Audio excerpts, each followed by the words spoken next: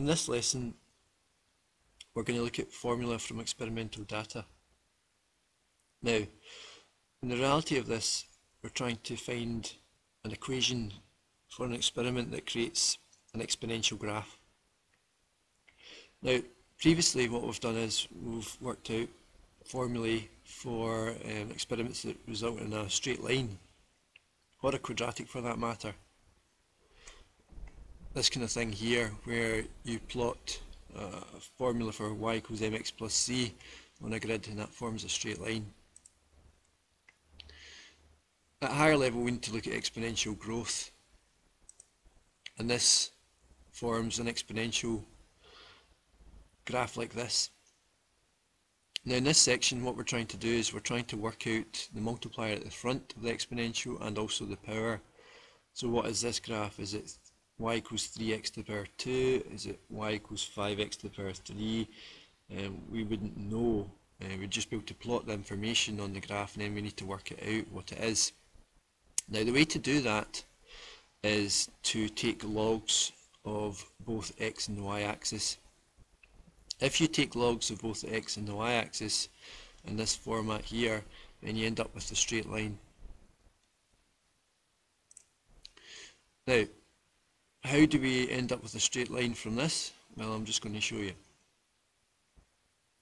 So first thing you do is you take logs of both sides.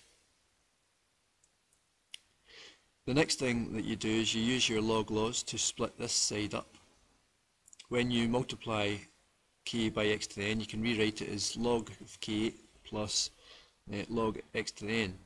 We're not talking about bases at the moment, we'll go into that later.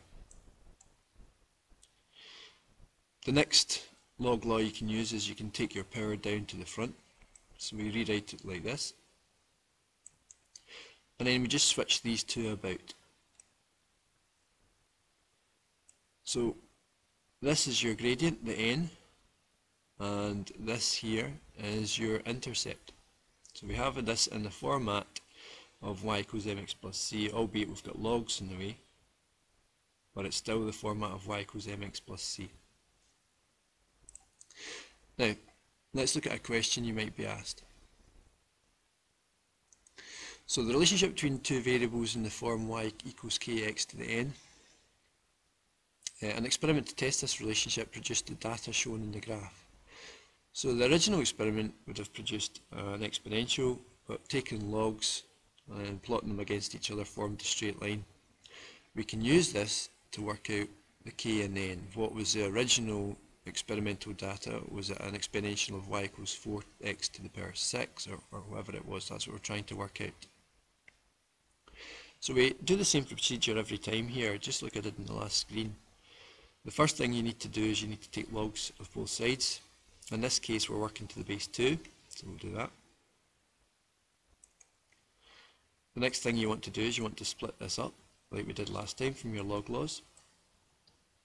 So log k to the base 2, plug log x to the n to the base 2, plus even. Take your n down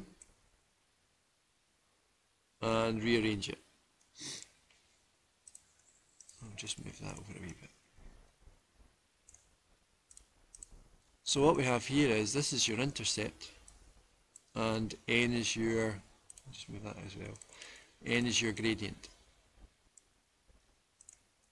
So what we can do now is we can look back up here and we can say, right, I can work out the gradient from here, doing delta y over delta x, and also know my intercept is 5. So if I do delta y over delta x, I'm going to get 8 take away 5, and 9 take away 0, um, because this coordinate here is, is 0, 5. So that's going to give one third. You're going to get 3 over 9, which simplifies to a third. So that's what your n value is, we've worked it out. And your intercept, if you look up here, is 5. So this is going to equal 5. Now to work out what k is, 2 is your base and, and 5 is your power. So you basically just rearrange this to 2 to the power 5. And that comes out as 32.